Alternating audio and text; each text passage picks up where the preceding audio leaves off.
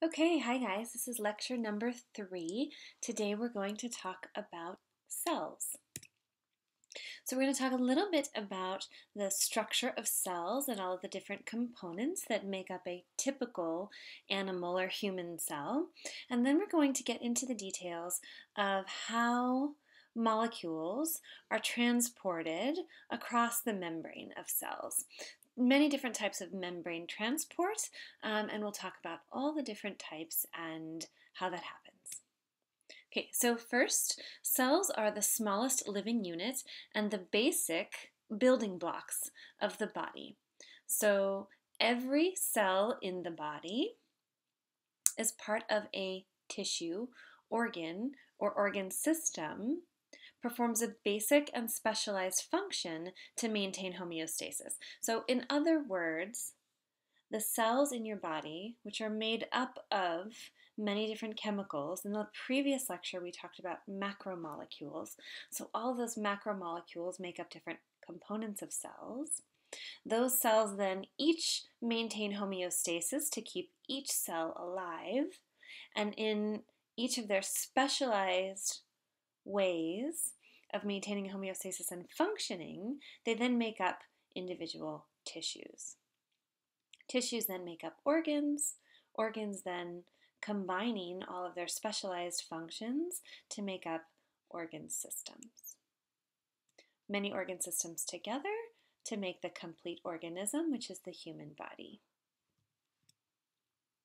So, cell theory, the classic cell theory, is that the cell is, again, the building block of life. So, these are um, the formalized parts of the cell theory from table 2.1 in your textbook. So, the cell is the smallest structural and functional unit capable of carrying out life processes. So, no cells, no life.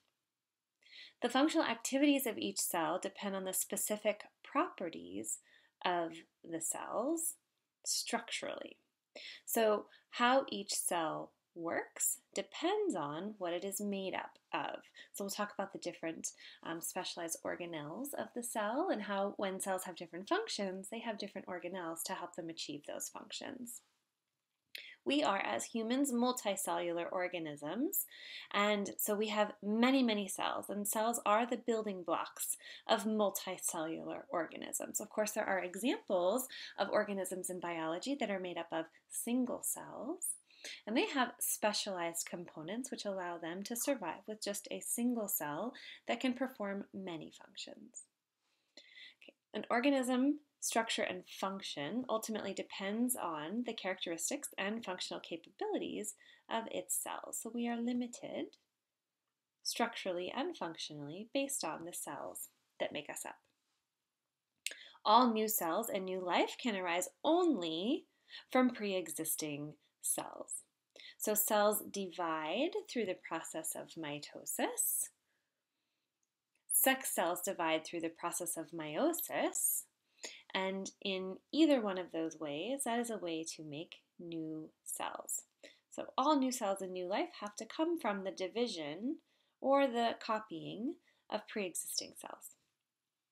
Because of this continuity of life, the cells of all organisms are fundamentally similar in structure and function. Although you guys will see when we look at the human body how just how different and unique different specialized cells can be. Today we're going to talk about general animal cells, um, and as we go through the different units of this course, you will see the cells of the specific organ systems and how they change in structure function. Okay, so I want to spend some time with you reviewing cell structure. We're going to talk about each one and then we'll draw a summary diagram to remind you of all the different components that make up a cell. So here's a list here, and we're going to go through each one of these individually. There is a summary diagram in your textbook, figure 2.1, page 24, um, for this current edition, um, that I want you guys to refer back to and be able to both visually and functionally identify the components of a cell. We're going to start with the plasma membrane. So the plasma membrane separates the outside fluid or the extracellular fluid from the inside fluid or the intracellular fluid. It is primarily composed of macromolecules called phospholipids.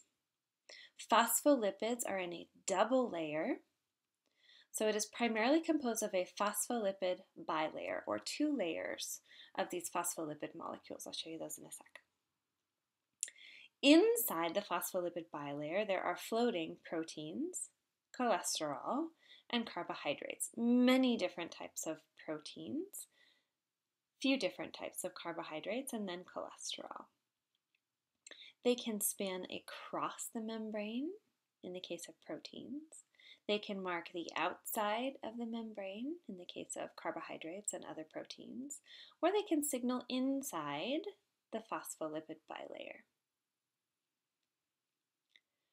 Also, if you review back to um, the basic function of cells from your anatomy course, is that plasma membranes have selective permeability. In other words, the plasma membrane can control the entry of molecules and the exit of molecules. It can control what comes in, such as nutrients that we need to help our cells function and make energy. It can bring substances into the cell, molecules, building blocks, for example, that the cell needs to make other molecules. It can also control the export of waste as the cell metabolizes and does its normal functions, it can remove waste. And it can control the export of products. So, if you have a secretory cell, for example, um, a digestive cell um, in the digestive system that is secreting a lot of digestive enzymes, It will export those products and control what is being exported out of the cell. Also, the membrane um, serves as a protective barrier to prevent the entry of unwanted substances. That can include anything that the cell doesn't want um, out of balance, so it can um, control, for example, the certain amounts of electrolytes and ions. It can also go all the way up to keeping pathogens like bacteria and viruses from getting into a cell. So, all of this is what the plasma membrane does. It first provides structure, and second, provides selective permeability. Here's a very simple diagram of a cell where we have the phospholipids here in orange that make up the lipid bilayer. So the phospholipids, there's one layer, and there's a second layer, and the tails point inward towards each other to make a lipid bilayer. This lipid bilayer, made up of phospholipids, separates the outside of the cell or the extracellular fluid from the inside of the cell or the intracellular fluid. A little bit more on membranes in a bit, but now we're going to move on to the nucleus. The nucleus is the structure um, generally in the center of the cell, although sometimes it gets pushed off to the side. Um, it in our general cell, it's in the middle of the cell. The nucleus houses the DNA. So, structurally, the nucleus is the largest single organelle. It's usually spherical, although there are some exceptions to that, um, and it's usually near the center. It also has its own membrane, a double layered phospholipid membrane that we call the nuclear envelope. There are tiny pores or nuclear pores around the nucleus that allow some molecules into and out of the nucleus. The nucleus houses the DNA, that is its primary function, and DNA is the genetic material that directs protein synthesis and serves as a genetic blueprint during cellular replication. We've already had some introduction to that in our macromolecules portion of the chemistry lecture, but we will talk more about DNA. We have a specific DNA lecture soon. The next component of the cell is the cytosol. The cytosol is the majority of the intracellular fluid. So sol for solution, cyto for cells. It is a semi-liquid, gel-like fluid containing molecules, ions, water, and other substances used and produced by the cell. Some molecules actually can't float freely in the cytosol, and for these molecules, vesicles are used. Vesicles are membrane-bound bubbles, kind of. They're not really bubbles, but I'm going to say bubbles in quotation because they look like bubbles. They're little membrane-bound structures that are usually spherical that contain concentrations of molecules being carried throughout the cell. And these are molecules that normally would not be dissolved in the cytosol, or the cell wants them so concentrated that it's going to concentrate them in vesicles. The next is the endoplasmic reticulum. The endoplasmic reticulum, there is um, rough endoplasmic reticulum and there is smooth endoplasmic reticulum. The rough endoplasmic reticulum you can think of as the factory of the cell. Rough endoplasmic reticulum synthesizes and releases new proteins. For example, hormones, enzymes, membrane proteins. It also synthesizes lipids, membrane bound phospholipids to recycle portions of the membrane, and other fats or lipid molecules made in the cell. It is called rough ER because it is covered in ribosomes, which gives it a rough appearance. There's also smooth ER. Smooth ER is also a factory, but it also is also a storage site. So smooth ER is both storage and transport of raw materials. So it can store and transport proteins and lipids made by the rough ER into small transport vesicles being sent to the Golgi. Smooth ER is called smooth because it has no ribosome, so it does not have that dotted appearance that the rough ER has. So here are pictures of rough versus smooth ER. So rough ER is over here on the left, which has the ribosomes on it. Smooth ER over here on the right, which has no ribosomes. Both are long membrane-bound networks, which molecules can be synthesized and transported. From the ER, then we get to the Golgi. Think of the Golgi as the mail room of the cell. So Golgi looks like little flattened stacks of pancakes that are closely associated with the ER or the endoplasmic reticulum.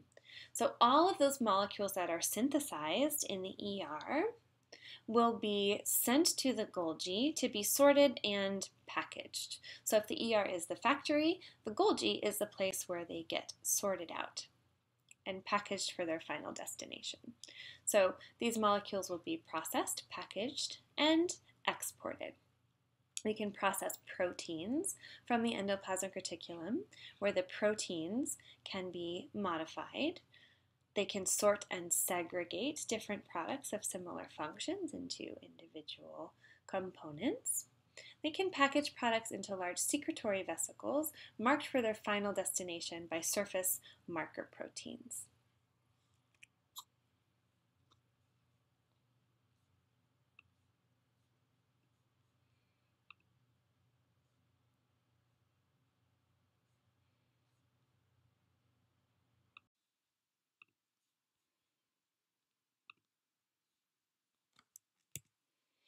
So here is a picture of the Golgi. Looks again like stacks of pancakes. Um, and here are the um, vesicles after they have been sorted and packaged by the Golgi. So each molecule here we've got green molecules, here we've got yellow molecules representing the sorted and packaged molecules containing finished product ready to transport to their next destination.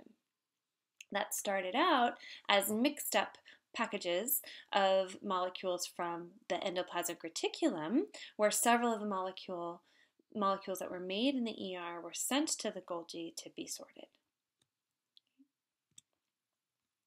If we put together the nucleus, the endoplasmic reticulum, and the Golgi, we have what's called the endomembrane system.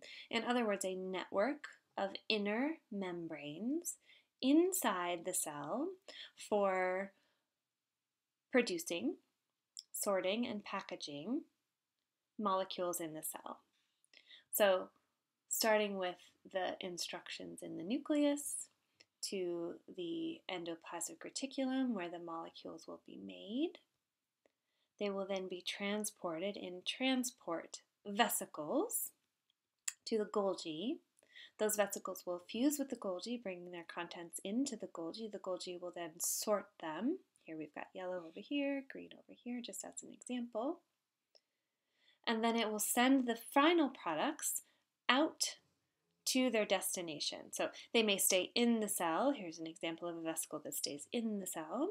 Or they maybe actually continue to be exported out of the cell if it's a secretory cell or a cell that's producing, say, enzymes or mucus. So secretory vesicles are then the final vesicles that would fuse with the outside membrane or the plasma membrane, and then those would be products leaving the cell.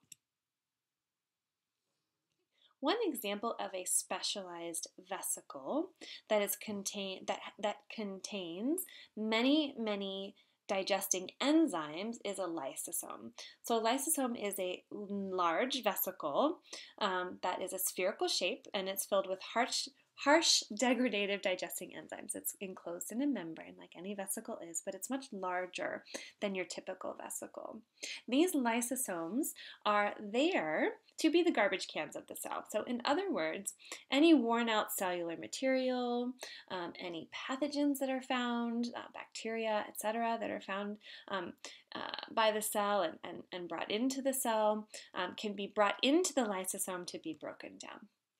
There are about 40 different hydrolytic enzymes, or in other words, breakdown enzymes, that will break down cell debris, molecules, bacteria, pathogens um, for the cell. Another specialized vesicle for the cell is a peroxisome.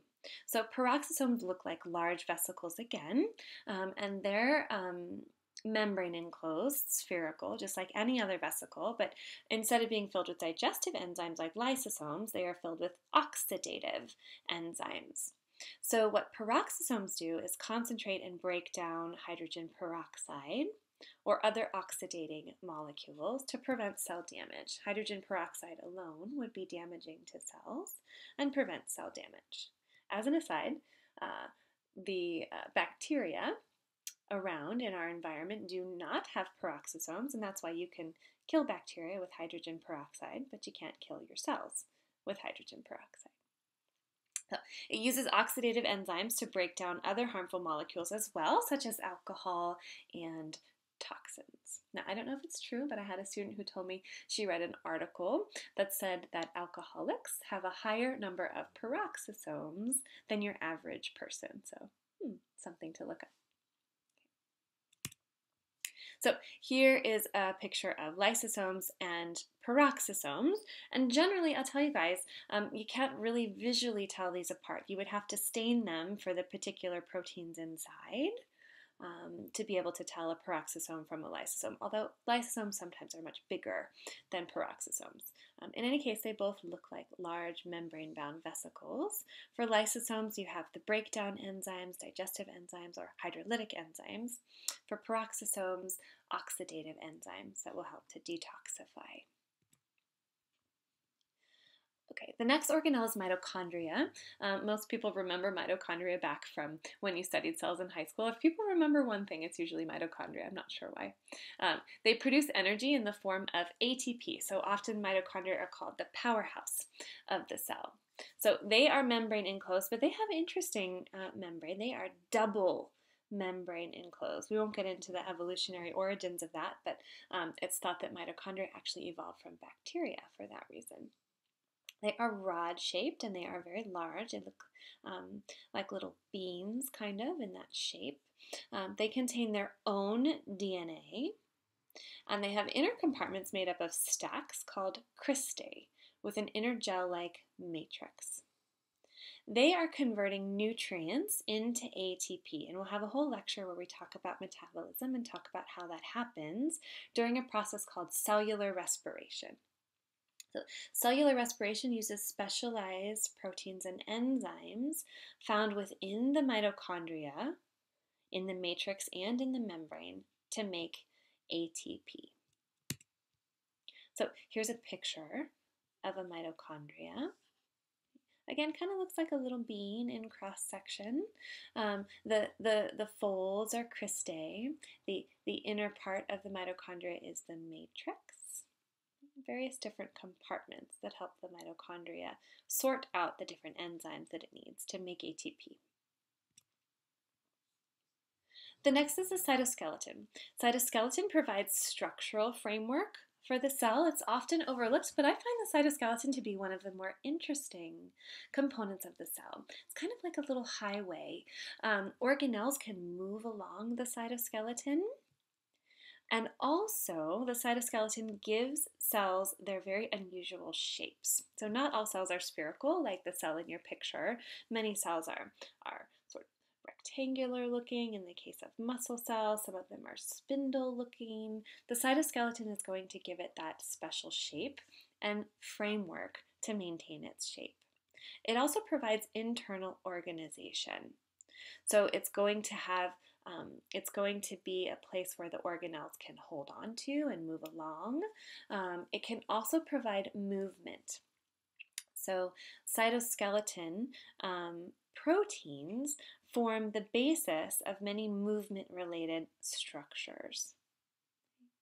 There are three types, basic types, of cytoskeletal proteins that make up the basic types of fibers or filaments in the cytoskeleton.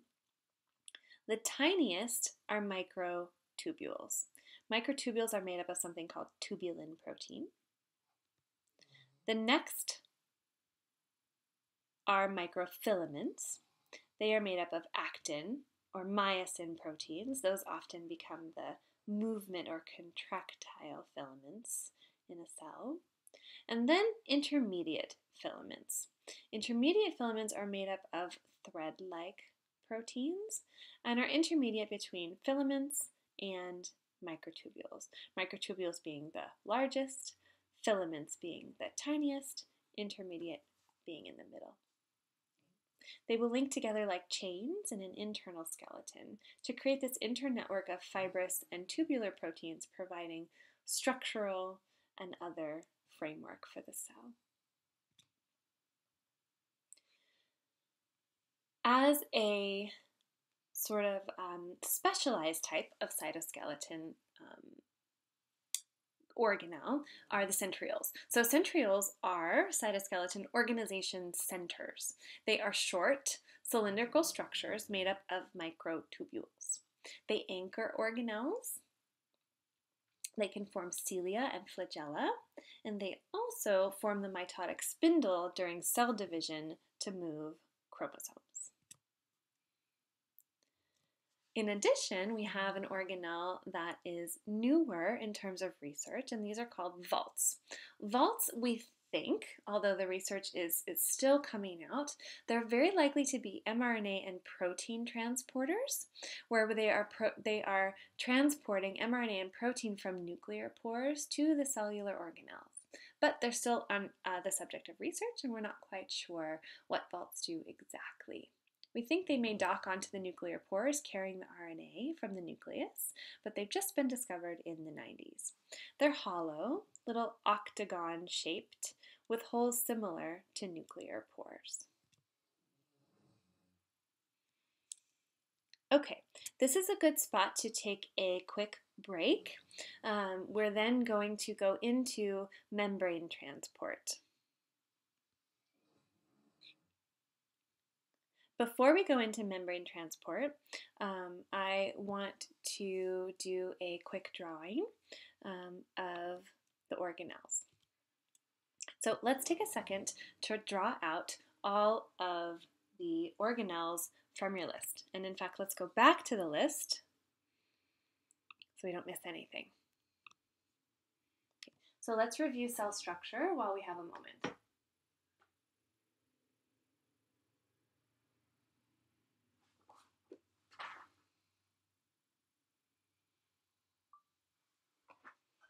Okay, so let's review cell structure.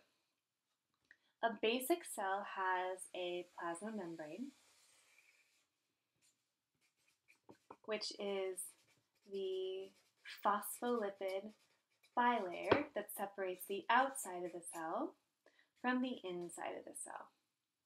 A cell also has a nucleus, which houses the DNA. And then the endomembrane system.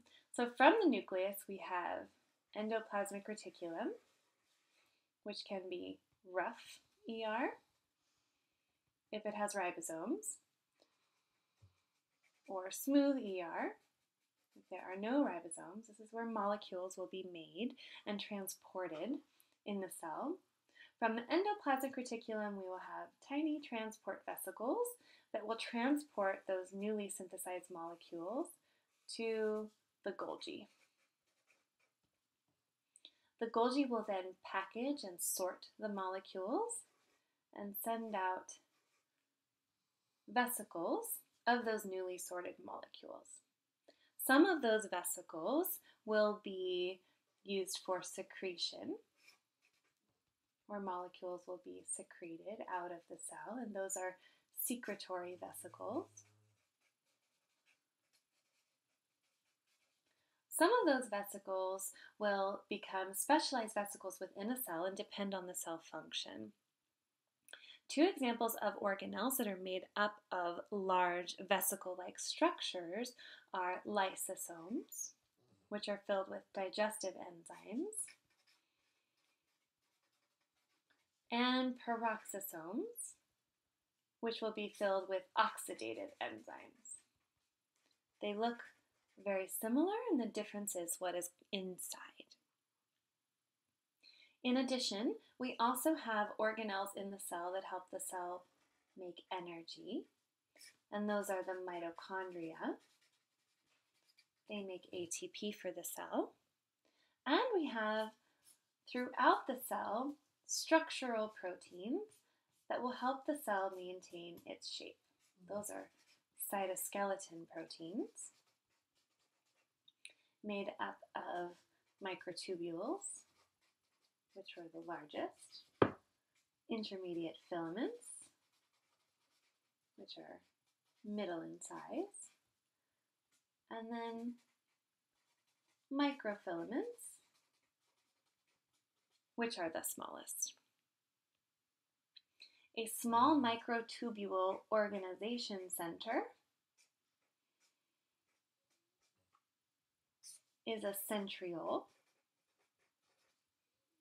A centriole can be used to create microtubule structures, such as the mitotic spindle, during cell division. The last is a new organelle that is newly being discovered that is octagonal in structure and near the uh, nuclear envelope, and these are called vaults. So these are all the components of a basic cell. And now we can move on to membrane transport.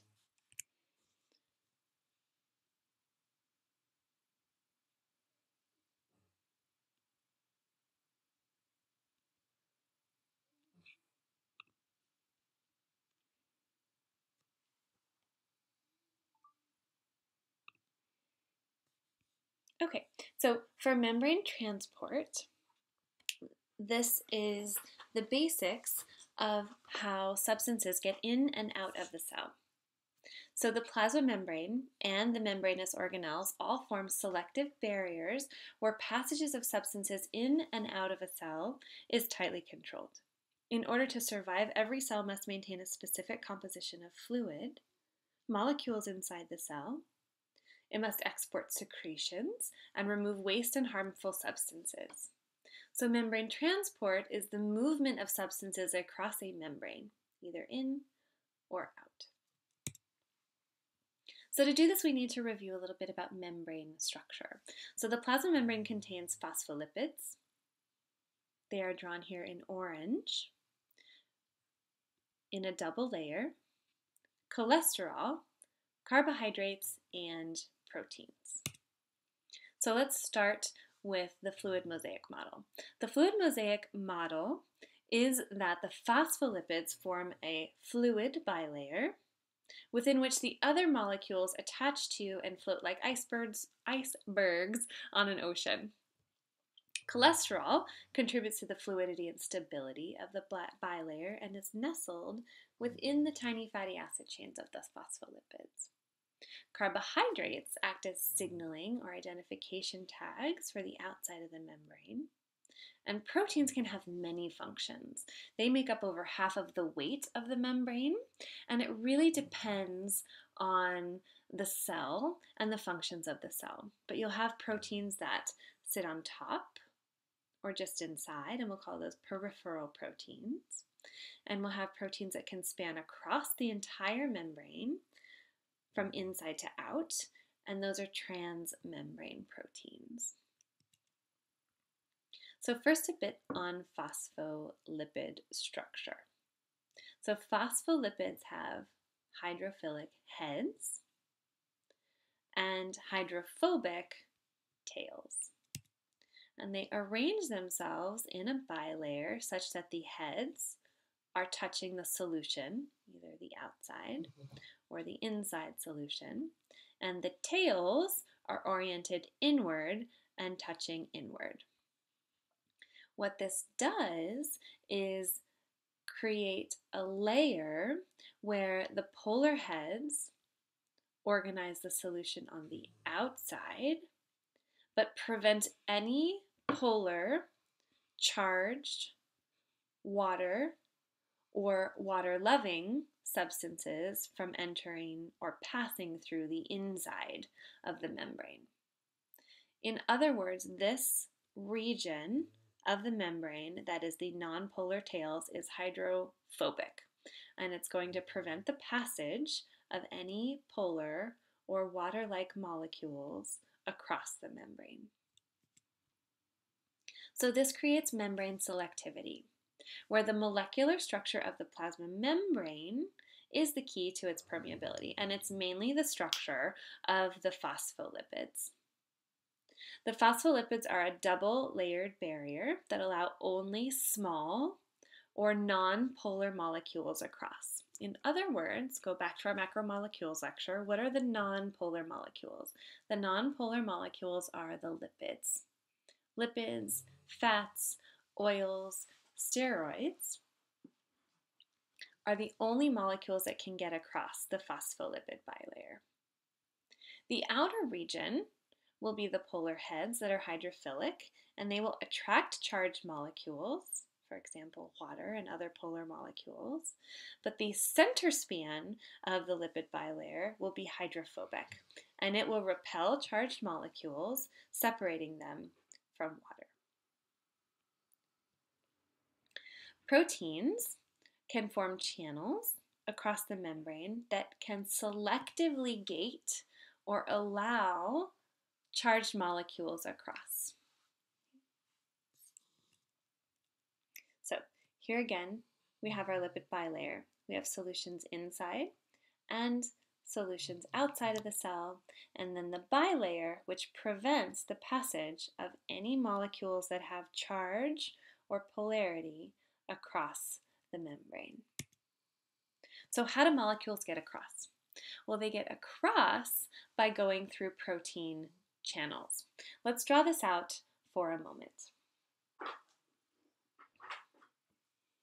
Okay, so you have a membrane that is made up of a bilayer of phospholipids with the tails pointed inward and the heads pointed outward. So these are polar heads on the outside, and then non-polar tails pointing inward. What that does is it makes the outside hydrophilic. So solution can collect on either side of the membrane but it creates a barrier, which is the span of the nonpolar tails, across which the water like polar or any charged solutions cannot get across. So the nonpolar tails then are hydrophobic. So if you have a molecule that is a hydrophobic molecule, like a fat, oh, here's our fat, or a lipid, then this molecule can get inside the cell no problem because it can get across the hydrophobic region. If, on the other hand, you have a molecule that is charged or polar, it will get stuck on the outside of the cell. It will not be able to get into the cell. The only way this molecule can get into the cell is if we open up a door for it in a protein channel. So if we make a protein channel and we span it across the membrane, then it becomes a passageway for the charged molecule to get in. It's like a doorway. Okay. So again, these transmembrane or proteins that span across the membrane of the cell can allow substances that wouldn't normally be able to get across to pass across the membrane. Some examples of this would be ion channels. Ions, remember, have charge, positive and negative charge. They can allow certain ions through, like sodium or potassium. Sometimes their gates are open all the time. If the gates are open all the time, then they're leaky ion channels, meaning that their ion can leak in and out. Other cases, more commonly, is that there needs to be a signal for the gate of the protein channel to open. Usually, this is some kind of a cue, electrical um, or chemical cue that will open the gate and allow the ion through. Only then can it move with its gradient. Water channels will allow water in and out of the cell through specific pores called aquaporins. And there are also large molecule channels with specific openings to allow large molecules in and out.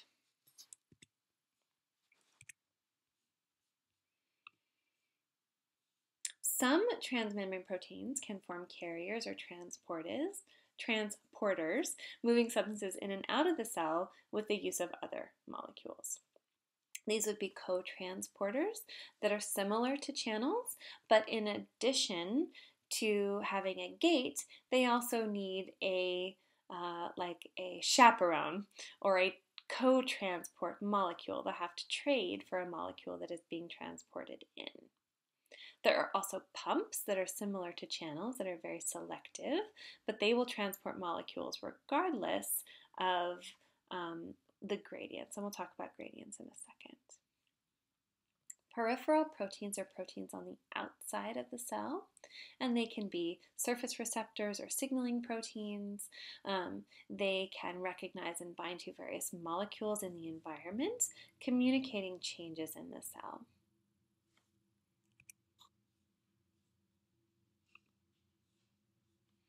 There are also internal signaling proteins that can recognize and bind to molecules inside the cell surface enzymes that can break down molecules in the environment outside of the cell, and cell adhesion molecules that can link cells together to communicate or hold cells together with nearby cells. So put together, here are some examples of proteins in a cell.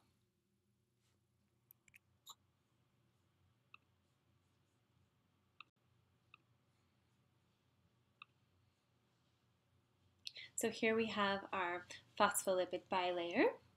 Then we have, here's a channel, transmembrane protein that would allow certain substances in and out.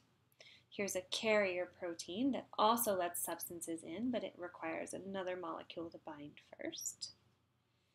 Here's a receptor protein that has some signaling on the outside or inside that's going to interact with molecules outside or inside the membrane of the cell. And so from here, we can talk about the types of membrane transport. So membrane transport is the movement of substances across a membrane, and it can either be passive or active. Passive membrane transport means that substances move across a bilayer without the need for energy. They can either move directly across the bilayer or they can use channels, but they are passive because there is no need for ATP.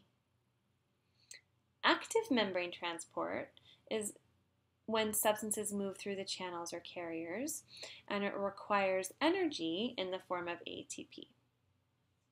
So the types of passive membrane transport are simple diffusion, osmosis, and facilitated diffusion.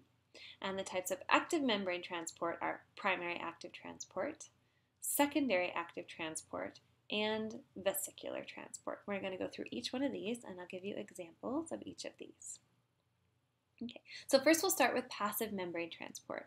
This is when substances move across the bilayer or through the channels without the need for energy. They can move passively due to gradients. There's two types of gradients that we will talk about in physiology. There are gradients due to differences in the concentration of chemicals or molecules. There are gradients due to differences in the concentration of ions or electrical gradients. There is an overall natural driving force towards equilibrium, which is to equilibrate or equally distribute either electrical charge or concentration of particular molecules. So molecules are always moving. The overall direction is called the net movement. With a gradient, there will be net movement into or out of a cell until equilibrium is reached. And at equilibrium, there will be no longer any net movement, or in other words, there will be equal chance of molecules moving in and out of the cell. So let's talk about gradients. So gradients can either be concentration or electrical gradients. For concentration gradients, there are more molecules of a specific substance located in one region versus another. Okay, let's draw this out. Okay, so for a concentration gradient, you have a membrane, and you have outside the membrane versus inside the membrane, and you have a particular substance, let's say sodium, outside the cell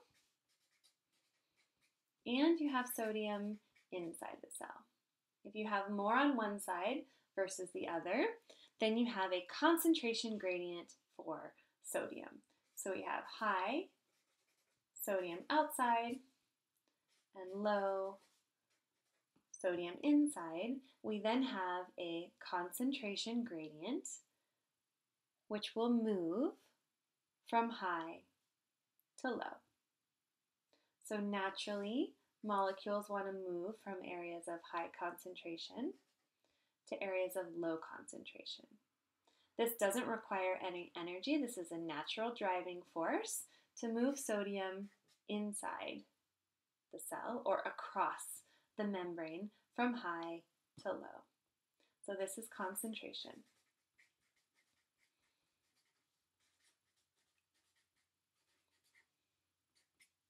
Now, if we take the same example, but let's throw in some other molecules. Let's throw in, say, potassium. I'm going to put a ton of potassium inside the cell, and let's add a little bit more sodium outside the cell. So we had a concentration gradient for sodium to move in the cell. Now, for electrical gradient, we want to look at the charge of the molecules, and we want to count the charges. So let's count outside. One, two, three, four, five positives outside. One, two, three, four, five, six, seven positives inside. Now for electrical gradients, charge is going to also want to be equally distributed. In this case, it doesn't matter the type of molecule for an electrical gradient. It only matters the charge. So for an electrical gradient, we just count all the positives on either side, and you can see that we have more positive inside than outside. So in the case of the electrical gradient, then we have a driving force for the positive ions to move out. So in this example, we have electrical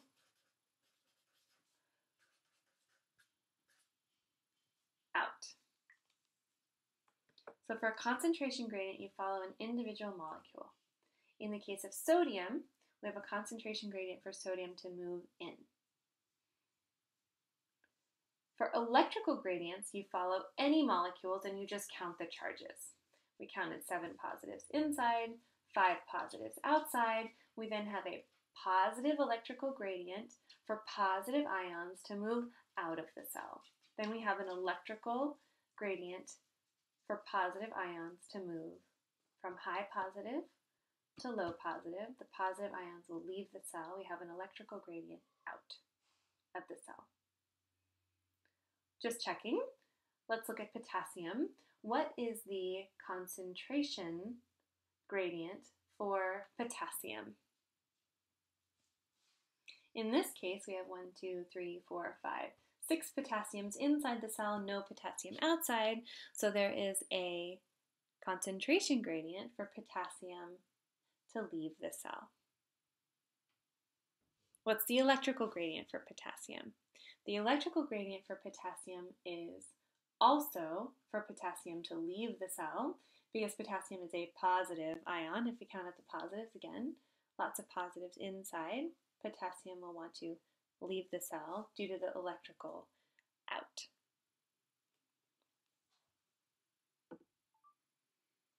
So a concentration gradient is when you have more molecules of a specific substance in one region versus another, but it's specific to each molecule. Other molecules will be ignored. For an electrical gradient, we count all the molecules that can contribute a particular charge. So any molecule with charge participates in an electrical gradient. For concentration gradient, we move from high to low concentration. For an electrical gradient, we'll move from areas of slightly negative to slightly positive or slightly positive to slightly negative. Opposites will attract. Or in other words, equal charge distribution. So we'll move from areas that have high positive to areas of lowly positive regions. Okay, here's an example of an electrical gradient. In this case, we have a positive gradient. So we count on this side of the cell, we have more positives on this side than on this side. The electrical gradient for this example would be to move towards equilibrium and the positive ions should leave the cell. Excuse me. The positive ions should go into the cell. So we have more positive outside, fewer positive inside. In this example, positive should move into the cell to balance everything out until you reach equilibrium and you have equal positive and negatives on either side. So here we had a positive gradient to move in the cell. Here we have equilibrium where everything is balanced. Here's a concentration gradient, and I think of this as the crowded elevator example, right? We sort of naturally have this sense that when things are crowded, they need to distribute. So in one region, you have a high concentration of molecules. In another region, you have a low concentration of molecules. Naturally, they will want to evenly distribute until you reach equilibrium, where you have an equal distribution on either side of that molecule. This will be specific to a particular molecule.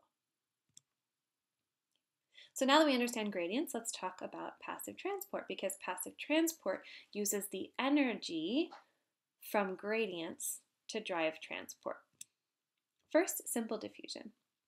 Simple diffusion um, is passive movement of molecules from high to low. So this is our simple concentration gradient or our simple highly positive gradient example. You have a high gradient on one side, low on the other. Molecules are going to move from high to low. There is a natural physical driving force that wants the molecules to even out, and we'll say concentration for this example, in concentration. No energy is required then, the molecules will simply move from high to low. Now this gets more complicated when we talk about across a membrane because remember that not any molecule can cross the membrane. So only molecules that are small and nonpolar can get across the phospholipid bilayer.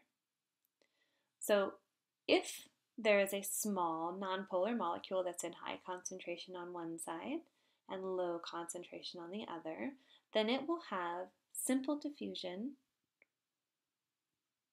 to move across the cell. It does not need energy or channels to do so because the membrane is permeable to these small nonpolar molecules. They are allowed to cross the membrane. There are five different ways that simple diffusion can be affected.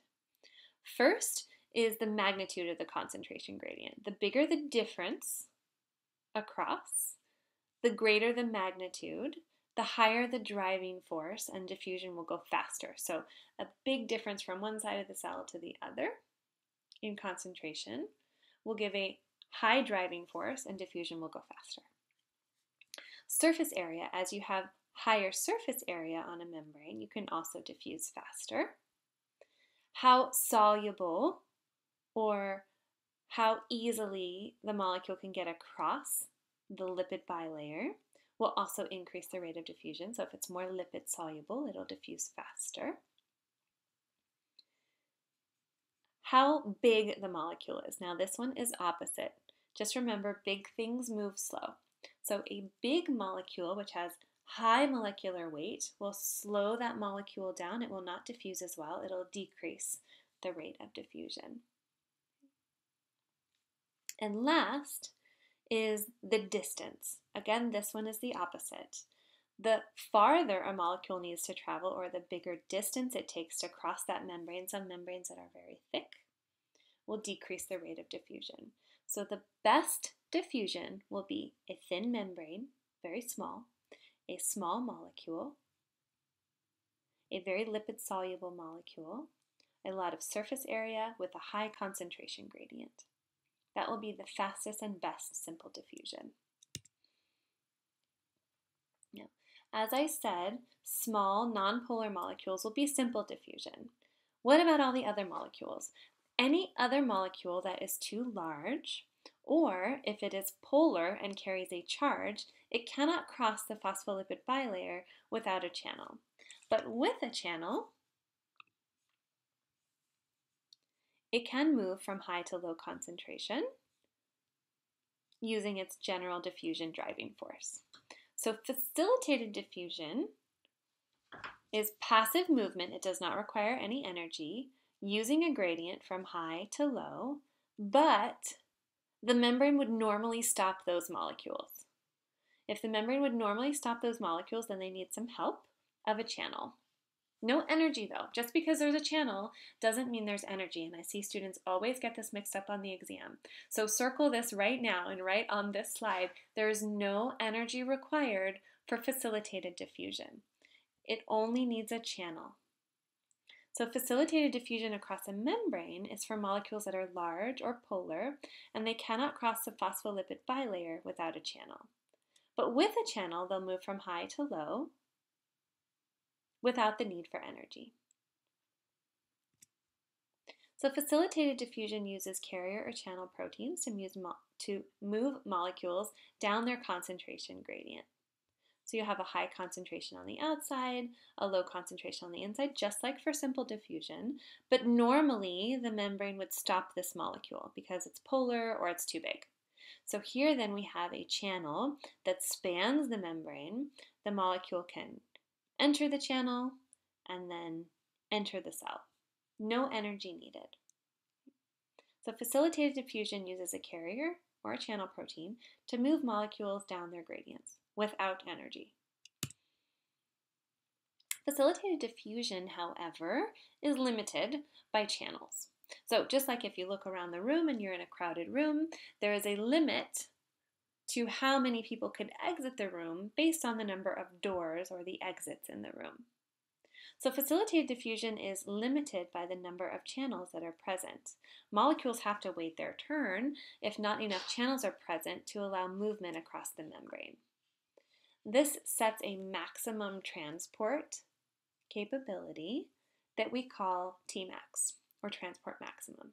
In other words, if all of the molecules back up at the channel, the channel is full, have to wait until the channel is open for that molecule to get through, or available for that molecule to get through.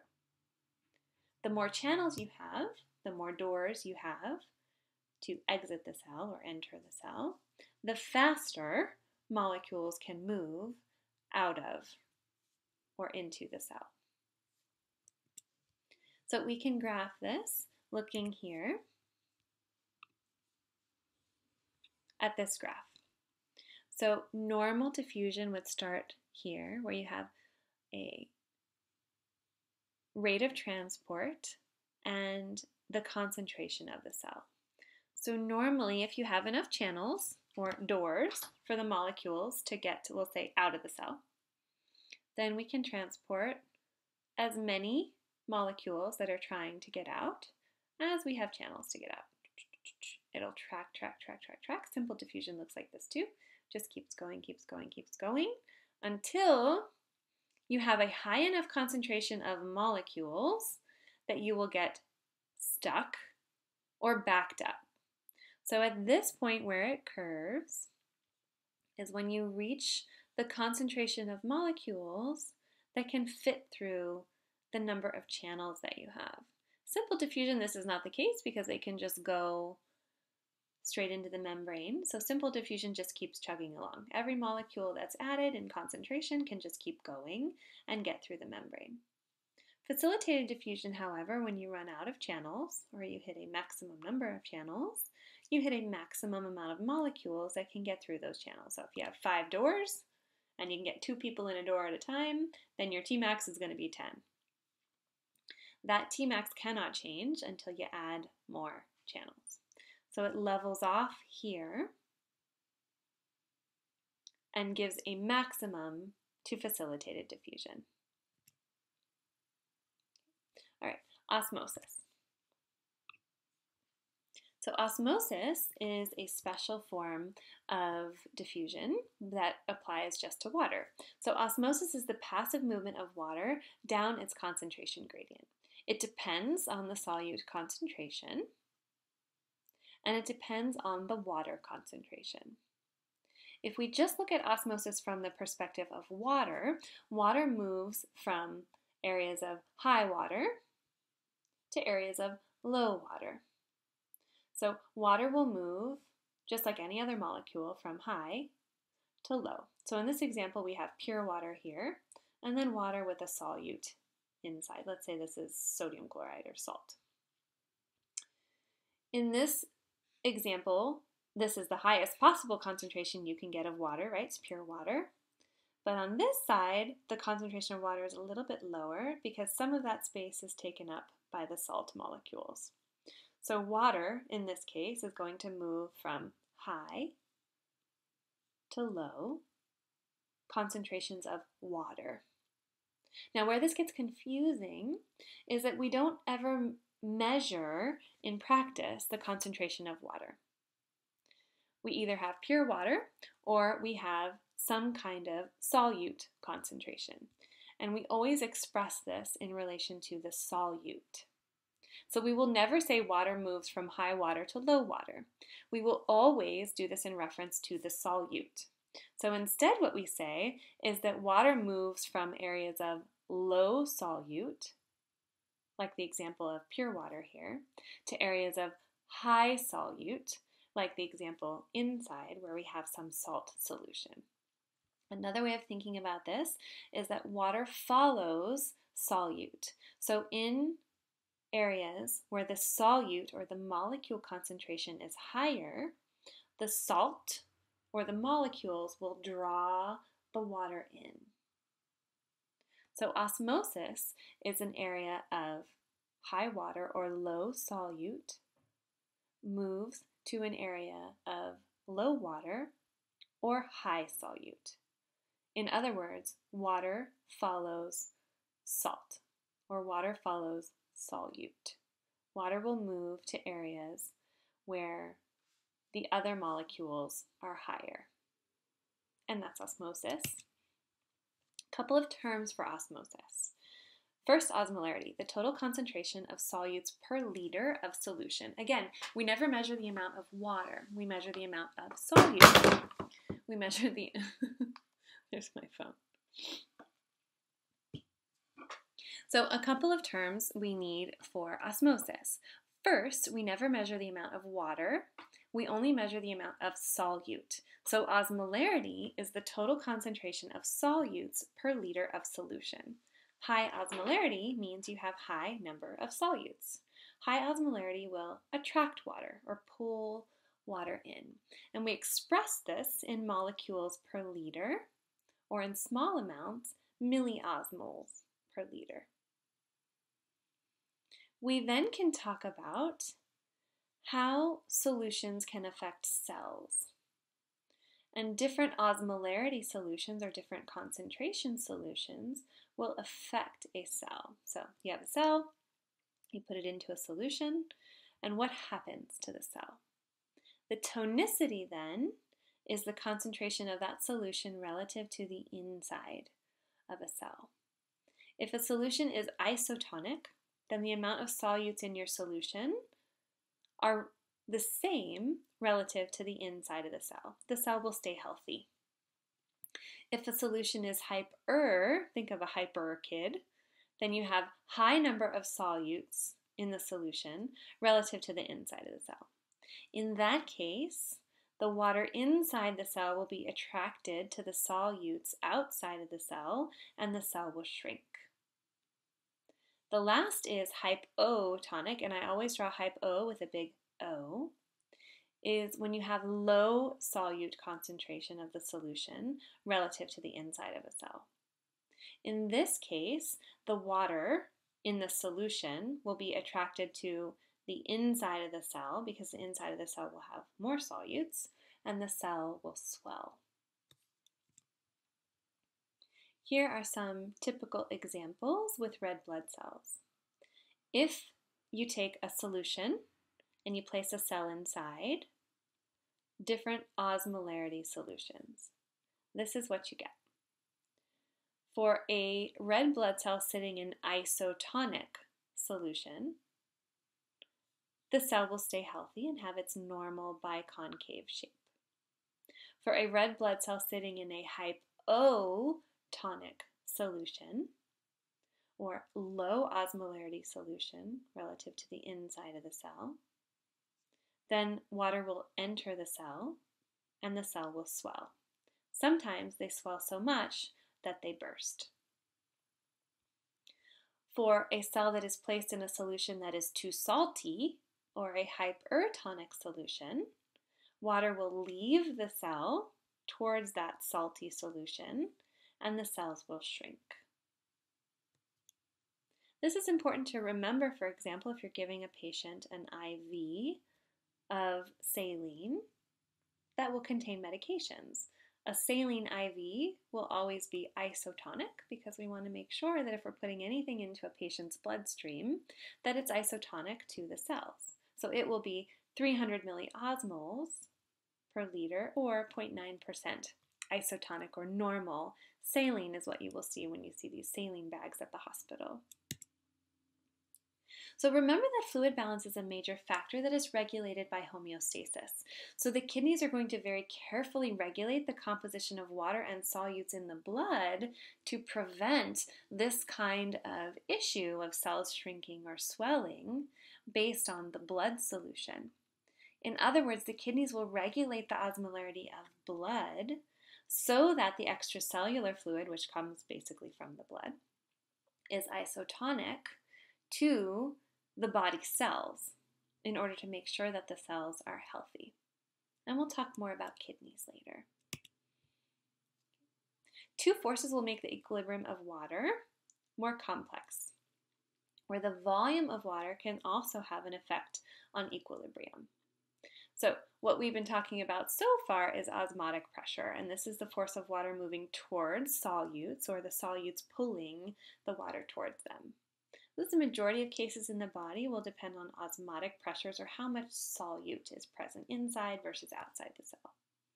In some cases, we also have to think about hydrostatic pressure, and that is when the fluid or the amount of water is high enough that the force of the water against the cell becomes a condition. In this case, hydrostatic pressure is when water is being pushed due to fluid pressure. So, hydrostatic is mainly a factor in certain conditions when space for cell expansion is limited, or in the case of, say, for example, blood pressure um, coming into tiny capillaries where the amount of blood pressure pushing on water against a barrier can create different gradients. Okay, so now on to active membrane transport. So active membrane transport is the movement of a molecule against its concentration gradient. So this is the case where you want to move a molecule no matter what, and it requires channels, carriers, and energy in the form of ATP. This is used when a cell needs to move a substance in, no matter what its gradient. So for example, we need nutrients in the cell even if we already have a high number of nutrients in a cell. We need to remove wastes, even if we have a high buildup of waste in the cell. Actually, especially if we have a high buildup of waste in cells, we need to pump that waste out of the cell. So we need these pumps, which use ATP, to bring substances in and remove them. We can also use pumps to set up or replenish gradients. The energy will be in the form of ATP, which is adenosine triphosphate. Adenosine triphosphate has three high energy phosphate bonds. Energy will be released when a phosphate bond is broken, and that forms ADP. So ATP can be broken down into ADP plus PI, or phosphate group, and when that happens, energy is released. So molecules that split phosphates to form ATP are called ATP ases. Ase means breakdown, so they break down ATP to release energy. There are several types of active transport. So first, primary active transport. This is when a carrier protein uses ATP directly. In other words, it actually inside the protein, there is a place where ATP can be directly broken down. And we often call these ATPases or pumps. So, a very common one in biology is the sodium potassium pump, which uses its own ATPase directly to pump three molecules of sodium for every two molecules of potassium. And it will do this actually to set up sodium and potassium gradients that can then be used for electrical or other activities in the cell. So here we've got three sodiums being pumped out when ATP is broken, and two potassiums being pumped into the cell due to this intrinsic ATPase activity. So it doesn't matter if sodium is already high on the outside of the cell or if potassium is already high on the inside of the cell. Completely independent of the gradient, the sodium-potassium pump will establish sodium outside, potassium inside. And it requires energy to do that because you can no longer use the energy of the concentration gradients. Secondary active transport is actually using ATP indirectly.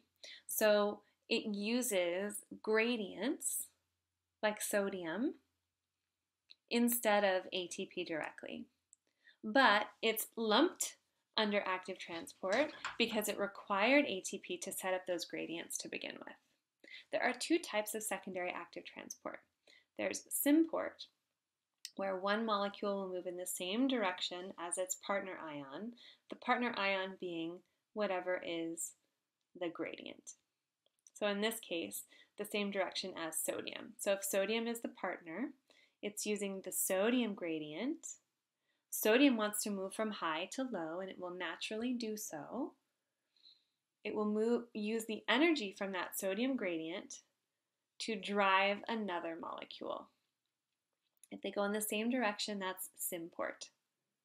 In other words, you can think of it as piggybacking. So sodium is high to low, and they'll move together. Antiport is when the molecule moves in the opposite direction of its partner ion. So we can still use sodium. Sodium wants to move into the cell here in green. There's symport here in green. Here's antiport. Sodium still wants to move from high to low. It took energy to set up that sodium gradient.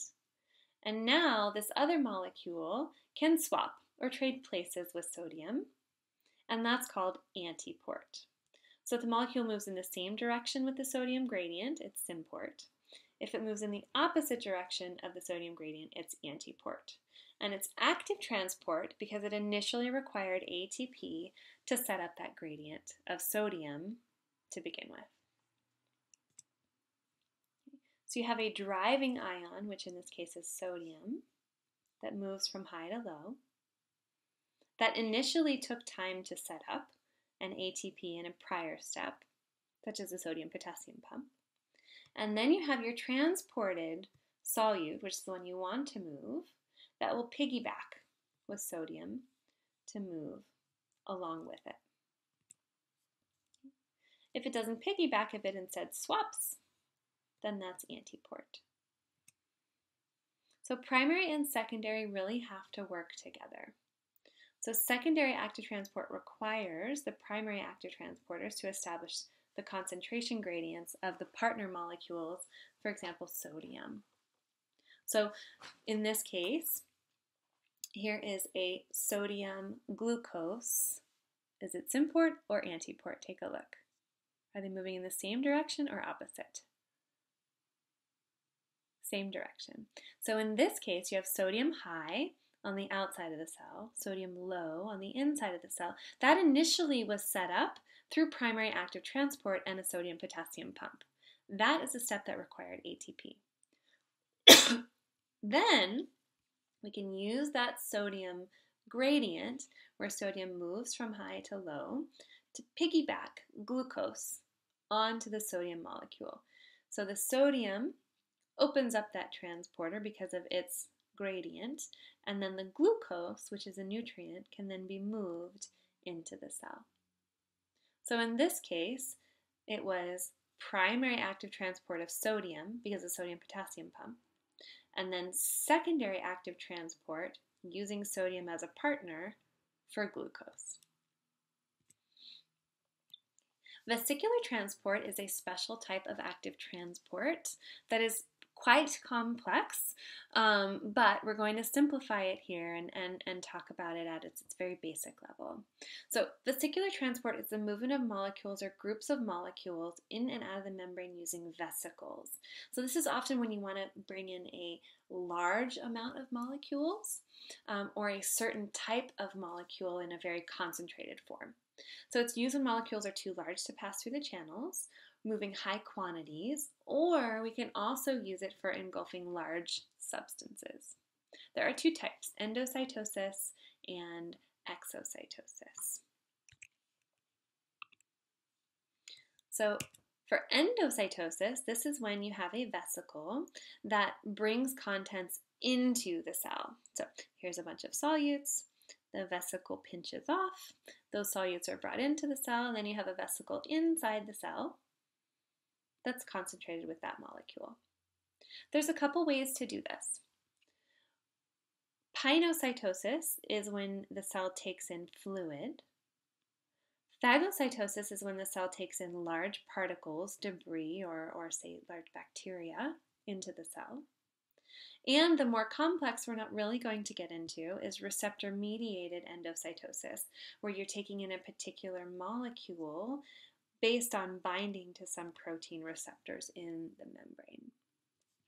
Well, here's pinocytosis, which is the example I put on the previous slide, where you're taking in extracellular fluid, which includes water and other solutes. We also call this cell drinking. So this is pinocytosis or cell drinking. Phagocytosis is cell eating.